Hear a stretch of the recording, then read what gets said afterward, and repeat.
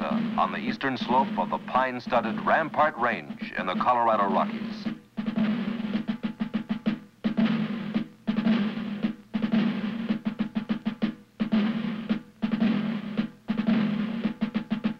This is the United States Air Force Academy. The occasion, June Week, and graduation of the class of 1959.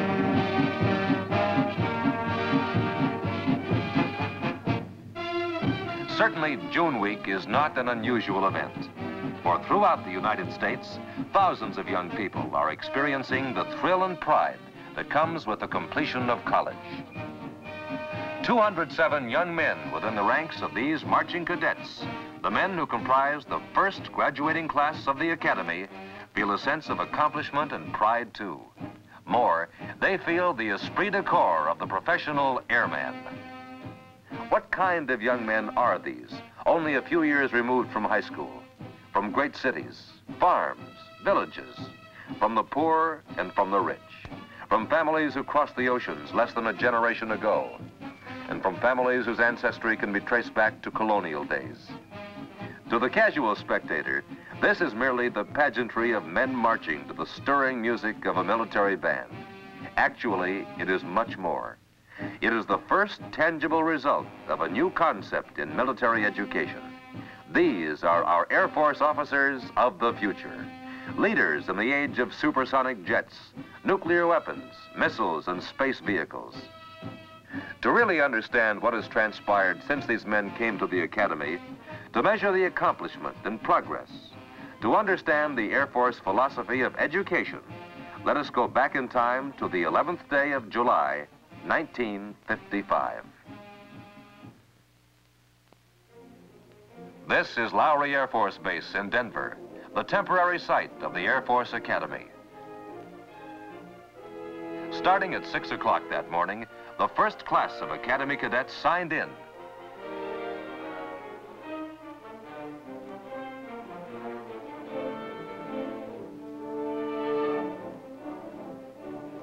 And suddenly, they were in the Air Force.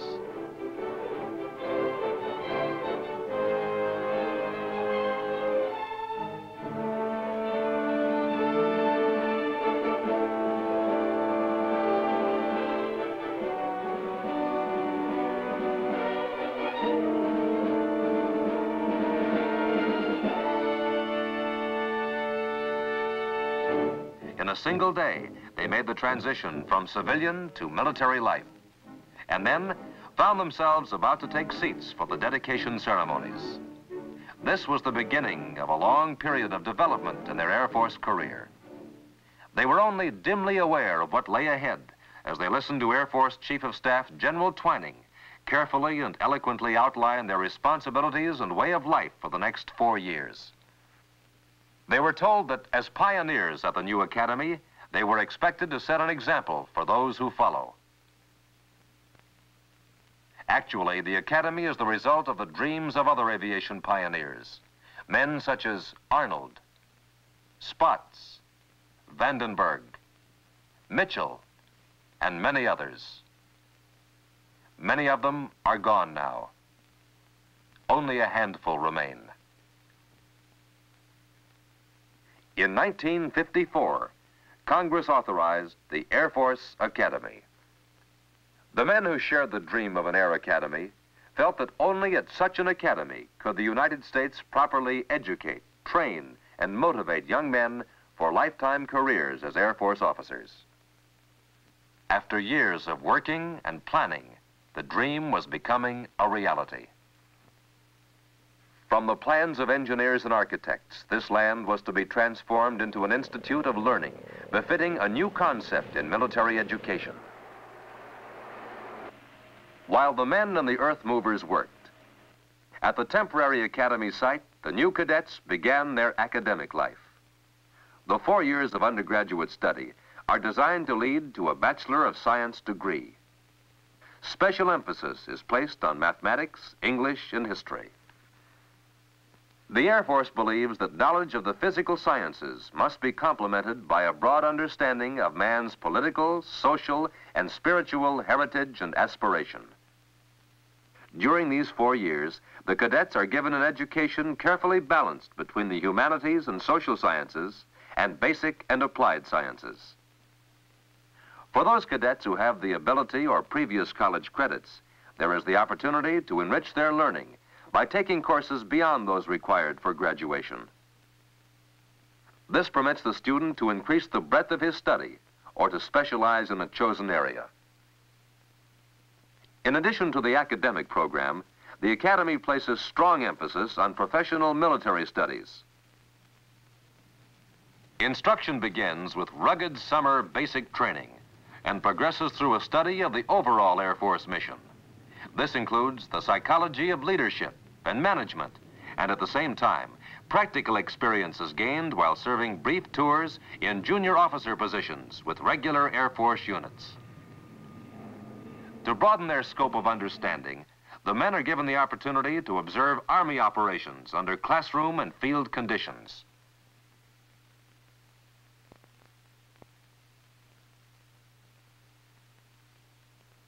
In addition to this, they study the Navy mission and its role in today's defense program. Also, field trips to military installations in the U.S. and overseas are scheduled and the structure and function of foreign military forces are studied. To keep fully up to date, the cadets visit Air Force facilities where they're informed of developments in space technology and the employment of aerospace forces. At the same time, they're given first-hand views of the Air Force's intercontinental and intermediate range ballistic missiles. While performing duties in the cadet wing, the cadet learns the value of discipline, first as a follower and then as a leader, the cadet performs duties which instill a respect for superiors, a responsiveness to orders, and the authority of command which is fundamental to military life. A milestone in the history of the Academy came in August of 1958. Although construction wasn't completed, the long-awaited move was made to the new Academy just outside Colorado Springs. A new curriculum, a growing tradition, and a way of life that had come into being during the stay at the temporary site were brought with the cadet wing when it moved to its new home. Shortly thereafter, the cadet wing understood more than ever their heritage of devotion to duty when the first superintendent, General Hubert R. Harmon, was interred in the Academy Cemetery. Honored, respected, and loved by all, General Harmon refused to slow down and kept working to the very end for the Academy.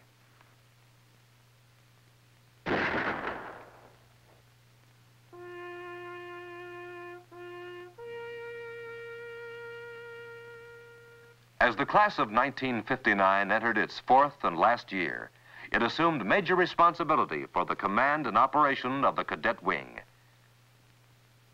In addition, they were obligated to create a tradition of excellence and high standards of performance. Each year had brought increasing authority, responsibility, and privilege. And although a fledgling in years, the Academy was establishing strong traditions. Foremost among them is that if tradition and progress clash, tradition must give way. However, there is one tradition at the Academy that will never change, for it's the very foundation of cadet life, the individual integrity of each cadet as stated in the Honor Code. We will not lie, cheat, or steal, nor tolerate among us anyone who does. Personal integrity is a key factor in leadership and command.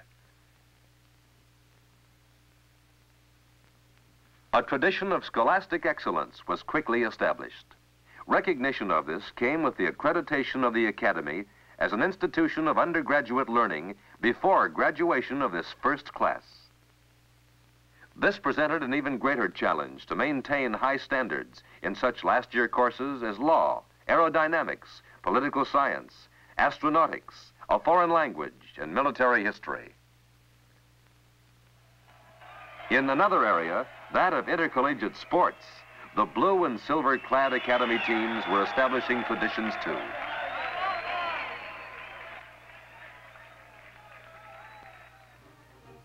With a record of nine wins and one tie, the Falcons met Texas Christian University in the Cotton Bowl on New Year's Day. The Falcons held favored TCU to a scoreless tie.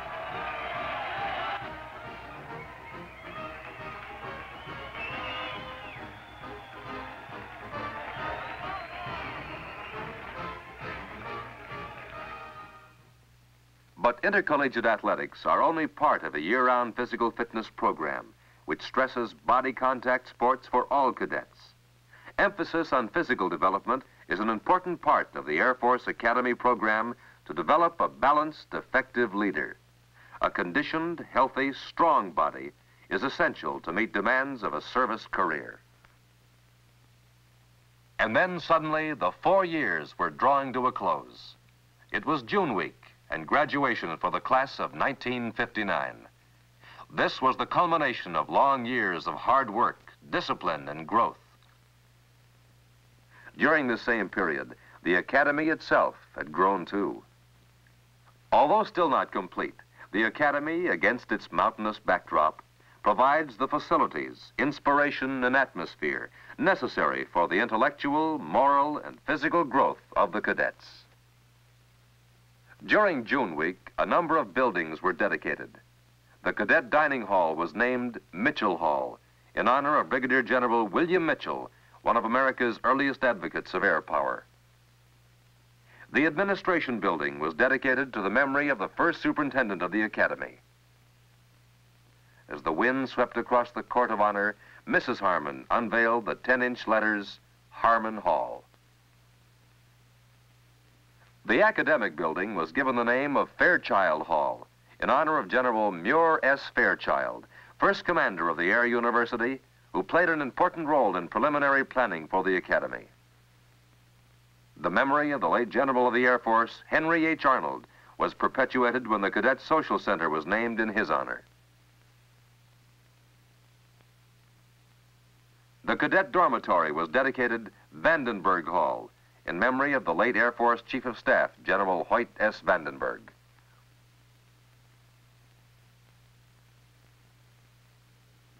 As June week progressed, open house was held for the families and guests of the class of 59 who had come from the many states and territories represented by the cadets.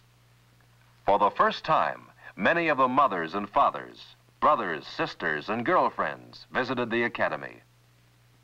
The cadet quarters, classrooms, lecture halls, and laboratories. The impressive library, built to accommodate a 200,000 volume general collection, plus a special aeronautical research section. The dining hall, the administration building, the social center with its theater, ballroom, and lounges, the planetarium, the statue of Pegasus, presented to the Academy by the Italian Air Force. Inscribed on it are the words of Leonardo da Vinci, there shall be wings. If this accomplishment be not for me, tis for some other. A number of social activities highlighted June week.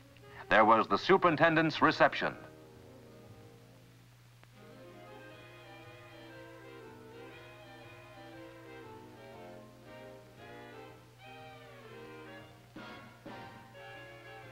The ring dance for the new senior class.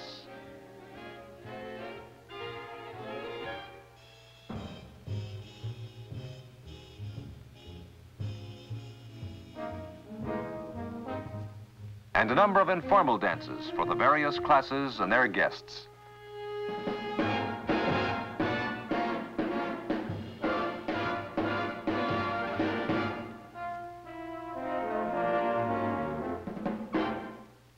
Athletic awards were presented at a banquet in Mitchell Hall. Awards were made to the many outstanding athletes. Joey Brown, a staunch friend of the Air Force, then spoke to the assembled guests. There was a time for contemplation and reverence, too. On Memorial Day, a ceremony honoring the airmen who died while serving their country was held in the Court of Honor. With the Rampart Range as a backdrop, members of the cadet wing stood in prayer as tribute was paid the honored dead. This solemn occasion characterizes the emphasis given to spiritual values in day-to-day -day life at the Academy. Opportunity for religious worship is provided to cadets of all faiths, for historically, the strength of man's religious faith has sustained him in times of crisis and adversity. Another event of June week was the presentation of awards for unit accomplishment. The 3rd Squadron was awarded the Air Force Association Trophy for overall excellence. The 4th Squadron received the Malamphy Award for the best intramural athletic record. The 7th Cadet Squadron was awarded the Steinhardt Trophy for outstanding performance in drill competition.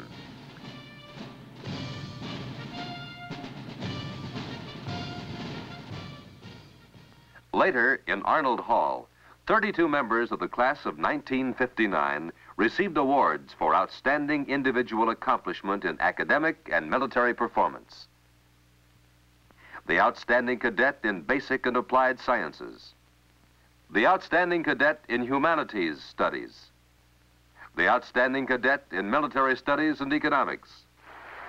The Outstanding Cadet in Mathematics who was also the Academy's first All-American football player. Rewarding individual talent and accomplishment encourages a spirit of healthy competition, the desire for personal excellence in all fields of cadet activity. This competitive process begins the moment each man applies for admission to the Academy and continues with every phase of education and training. In another ceremony, the Commandant of Cadets presented Navigator Wings to the graduating class. In the future, cadets will receive the fundamentals of pilot and navigator training and aerospace technology. This background will provide a foundation for future specialization.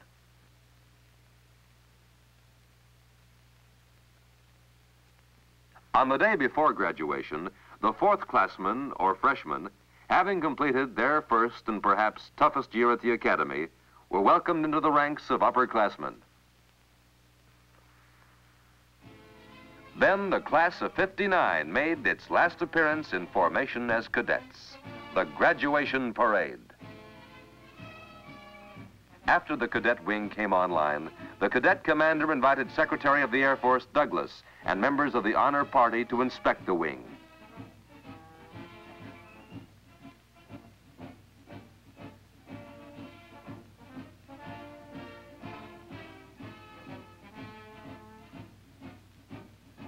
The cadet commander then presented a ceremonial sword to the new wing commander to symbolize the passing of responsibility for the cadet wing to the new senior class. Following the transfer of command, the graduating class crossed the parade ground and stood with the honor party to review the remainder of the cadet wing.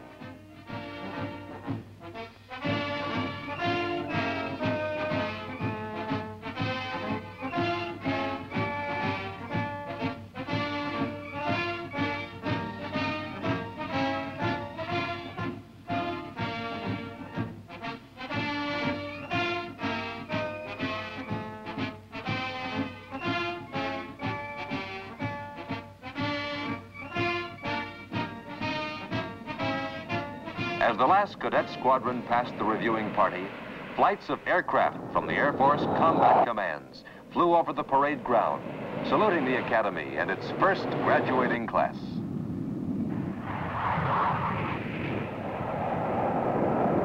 Then, a final salute was given by the Thunderbirds.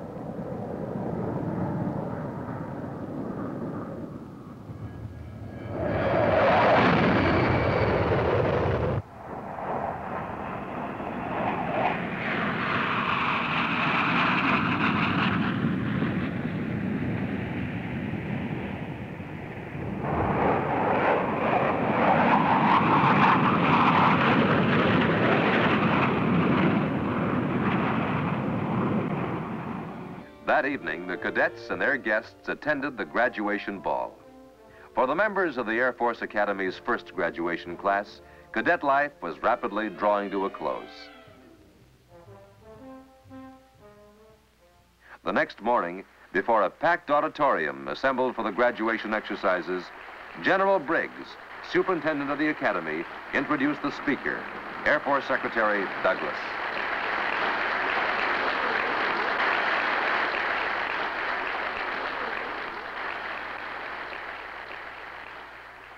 Thank you, General Briggs. Members of the Air Force Academy Class of 1959, friends, I'm honored to have this part in your graduation ceremonies. During the 10 years I have served the Air Force in uniform and as a civilian, I have had no experience that I shall prize more than this.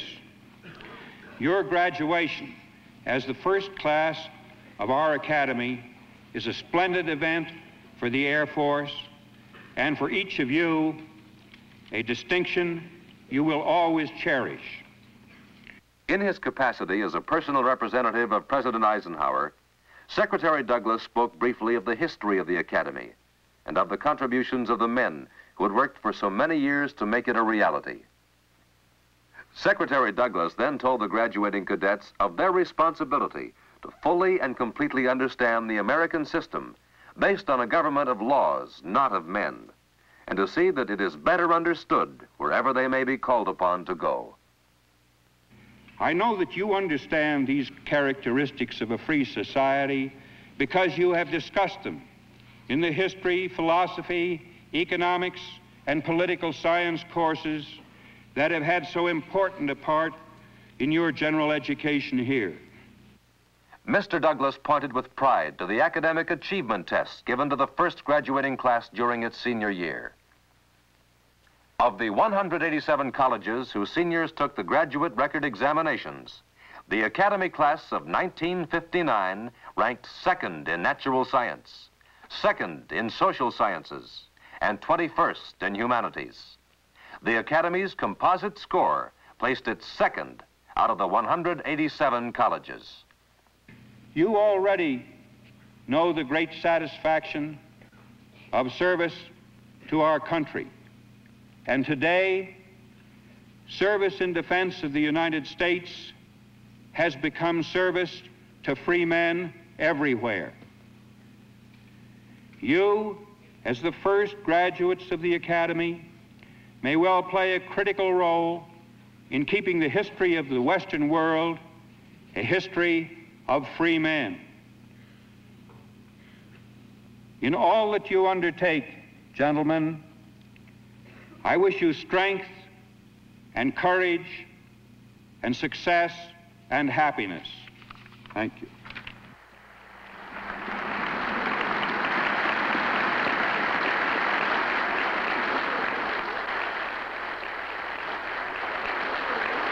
After the speech, the name of each cadet was announced in order of merit, and Secretary Douglas presented a diploma denoting the award of a Bachelor of Science degree. General White presented the commissions to the new second lieutenants.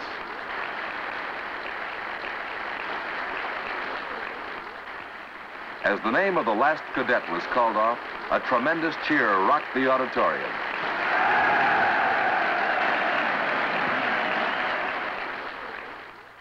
Following this, they were sworn in as commissioned officers.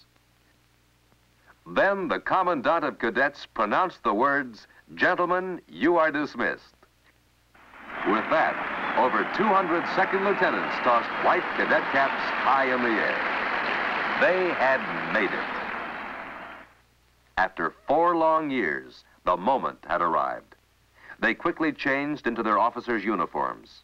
It was a time for happiness a time for pride, a time for tears, and a time for the feeling only a mother can know as she pins the slim gold bars on her son's uniform. And now it was time to leave, but this was not the end. For some, graduation meant continued study, more hard work as they progressed toward advanced degrees at graduate schools.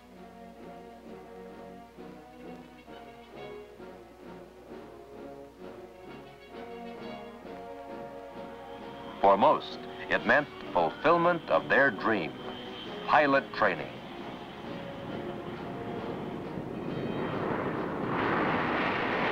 From here, they will go into Air Force combat commands.